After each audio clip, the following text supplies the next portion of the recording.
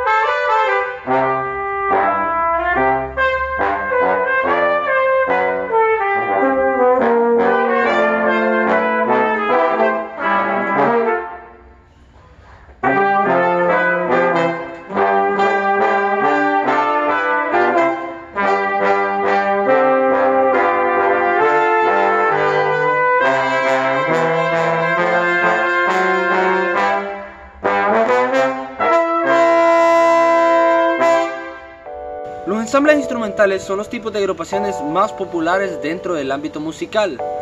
Estos están conformados por la unión de dos o más instrumentos, ya sea de la familia de cuerda, la familia de percusión o la familia de vientos. En esta ocasión contamos con un cuarteto de bronces. A continuación, daremos una pequeña explicación de cada uno de los instrumentos que conforman este ensamble.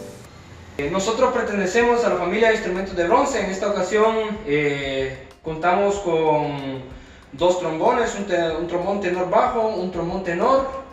Eh, en la línea de las trompetas tenemos una corneta y una trompeta en si bemol.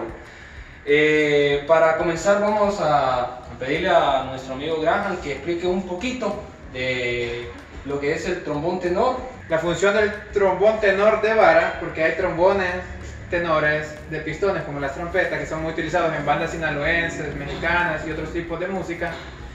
Un instrumento antiguo que tiene que ver con, desde la creación de la trompeta de vara y su sonido es emitido por una boquilla circular y más o menos suena así.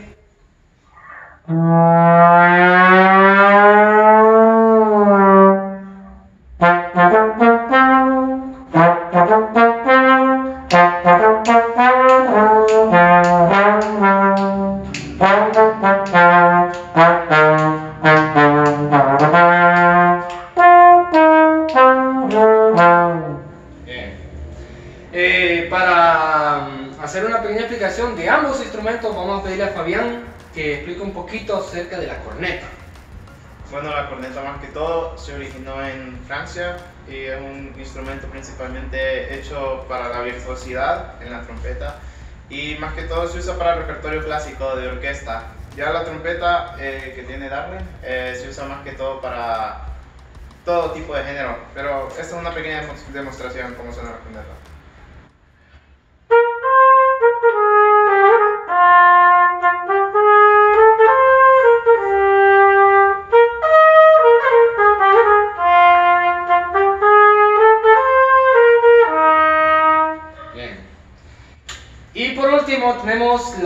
Trompeta en si bemol, la trompeta que comúnmente todos conocen. Alvin. Bueno, la trompeta es básicamente la evolución de la corneta. Fue, fue hecho en Francia y esta fue una evolución eh, con, la, con, la, campana más grande, el sonido más brillante, diferente al sonido de la, de la corneta. También cambia la boquilla y en su sonoridad. Históricamente, básicamente tienen la misma historia. Voy a tocar algo para ustedes.